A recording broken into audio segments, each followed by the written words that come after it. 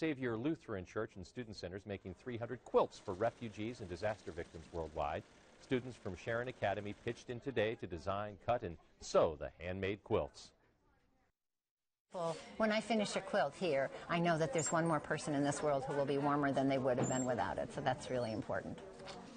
The quilters meet up weekly for disaster relief quilting and plan to achieve their goal by next May.